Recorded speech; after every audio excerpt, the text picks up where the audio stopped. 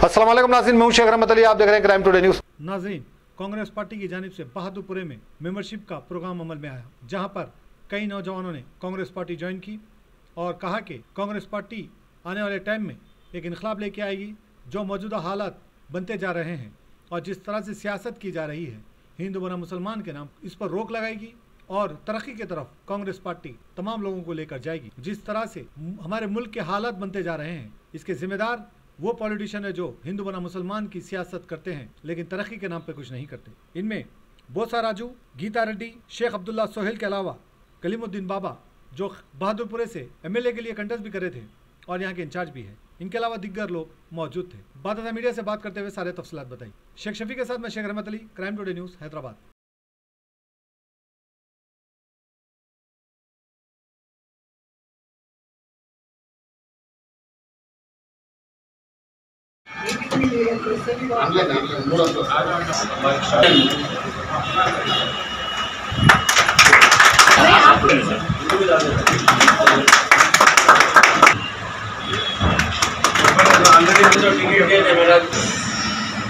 अच्छा फाइट करे जरा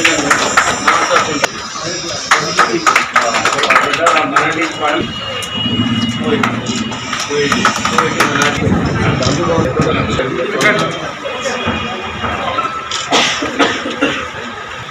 कोई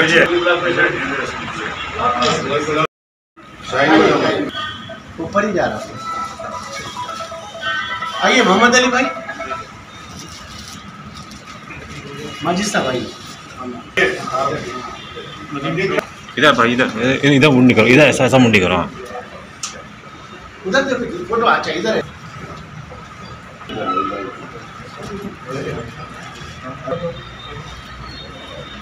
शहबाज और भाई भैया हमारे शहबाज।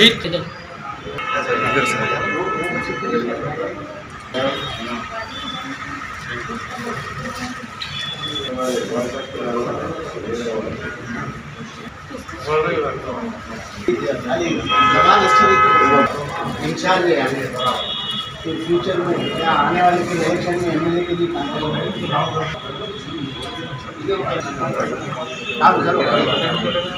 ये हमारे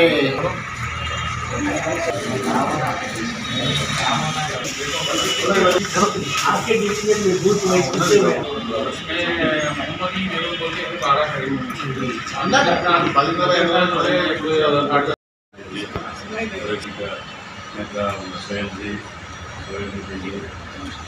कितने हमारा नेशनल जी। हुसैन करने में पूरा डिटेल्स हमारा सुहेल साहब बोले कैसा करना क्या करना ये हैदराबाद का पार्लियामेंट्री काउंसिल का हमको पूरा मालूम है फिर तो भी कैसा करना क्या करना बोल के दो तीन मीटिंग हुआ गांधी भवन में हमारा बाबा साहब को भी बात करें कैसा तो भी करके 261 बूथ में मेंबरशिप करा बोल के बोले फ़ायदा दिए क्या साहब? सब लोग का विश्वास करके उन्होंने गांधी भवन में बोल के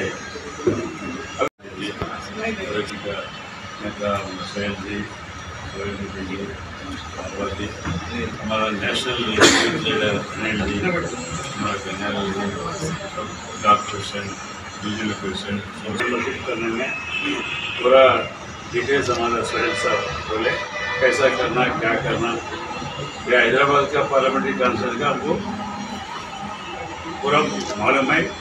युद्ध में कैसा करना क्या करना बोल के दो तीन मीटिंग हुआ गांधी भवन में। हमारा बाबा साहब को भी बात करें कैसा तो भी करके 261 बूथ में मेम्बरशिप करा बोल के बोले फ़ायदा दिए क्या साहब? दिए सब लोग का विश्वास करके उन्होंने गांधी भवन में बोल के हैदराबाद पार्लियामेंट और निरंजन भाई सीनियर वाइस प्रेसिडेंट मोइन भाई हैदराबाद मेंबरशिप ड्राइव के प्रेसिडेंट हमारे एजाज भाई अ, बहादुरपुरा के इंचार्ज मेंबरशिप ड्राइव हमारे अनिल भाई ए आई सी सी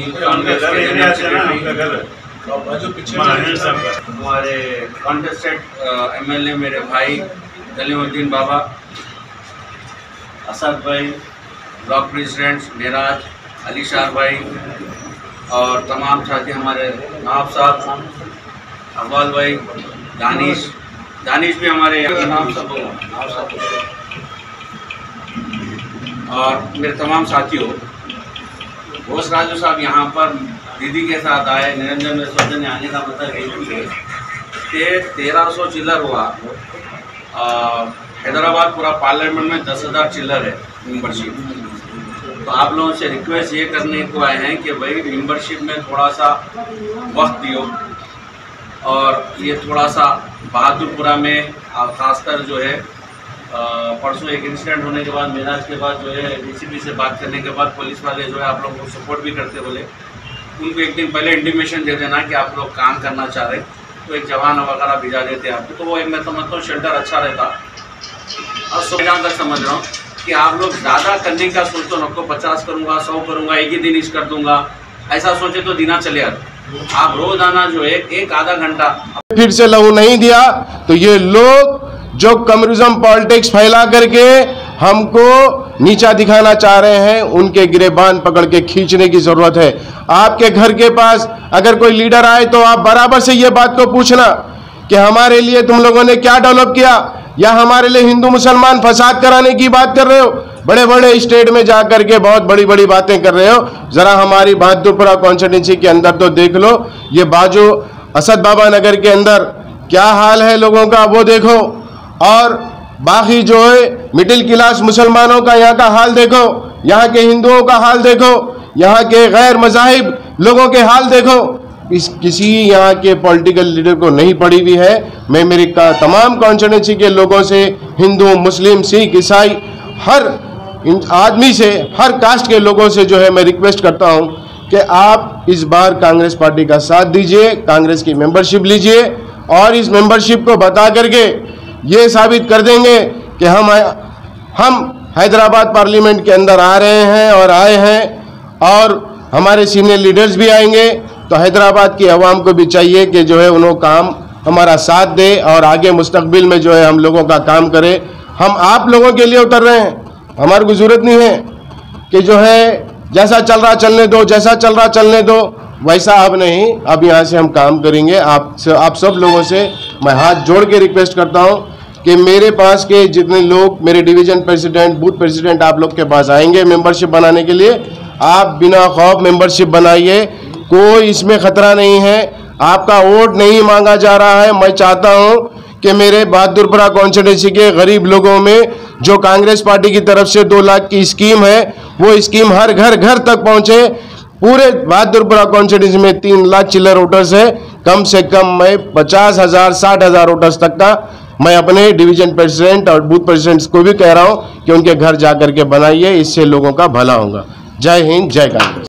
आज बहादुरपुरा असम्बली कॉन्स्टिट्यूंसी के अंदर ऑफ़िस मीट, पे मीटिंग हुई और यहाँ पर शिरकत करने बुसा राजू साहब और गीता रेड्डी मैडम जी और निरंजन भाई और रोहिन रेड्डी साहब और तमा, और भी बाकी जो सीनियर लीडर्स थे, उन्होंने आए और हमारे एरिए के कॉन्स्टिट्यूंसी के सीनियर लीडर्स और प्रेसिडेंट्स डिवीज़न प्रेसिडेंट्स और कंटेस्टेड कॉरपोरेटर भी मौजूद थे। उनकी मौजूदगी में हम लोगों ने मेंबरशिप ड्राइव के ऊपर बात की।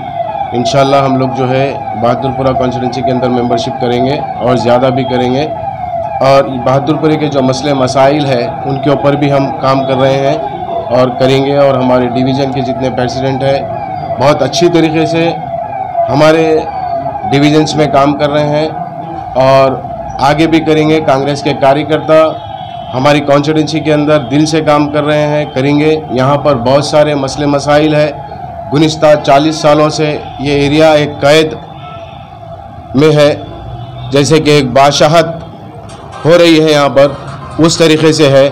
और यहाँ के हमारे जो मुस्लिम भाई है और अदर कास्ट के हमारे हिंदू भाई है, सभी लोगों में हम जा रहे हैं जा कर के एक विश्वास और एक भरोसा दिला रहे हैं कि हम ये काम करेंगे आपके साथ और करेंगे और लोग भी हमारे तरफ़ आ रहे हैं इन आएँगे। और हम ये काम को जो है कामयाबी की तरफ़ लेके जाएँगे पूरा। और कोशिश करेंगे कि जो है हम आने वाले इलेक्शन तक बहादुरपुरे के हर घर घर में हमारी कांग्रेस का पार्टी का पैगाम पहुँचाए। क्यों ज़रूरी है आज कि ये लोगों को भी जानना चाहिए कि आज किस तरीके से एक कम्युनिटी को पूरे हिंदुस्तान में टारगेट किया जा रहा है चंद कम्युनिज्म पार्टी की वजह से। कम्युनम कम्युनिज्म आपके लिए डेवलपमेंट नहीं है।